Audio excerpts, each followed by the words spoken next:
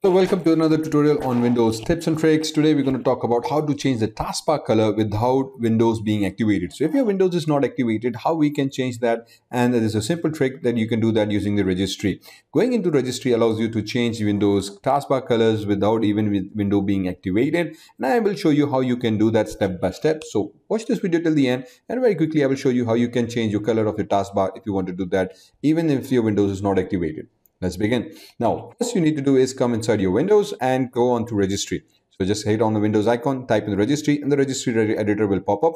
Click on that. On the registry editor, type and paste this particular URL. I will leave the URL in the comments uh, in the description below right so you can find this path in the description just copy it and paste it in your registry basically you need to go inside your HK, the current user, inside current user, go inside softwares, Microsoft, Windows, current version, themes, and then personalized folder. This is a particular path that will allow you to change the personalized settings of your Windows.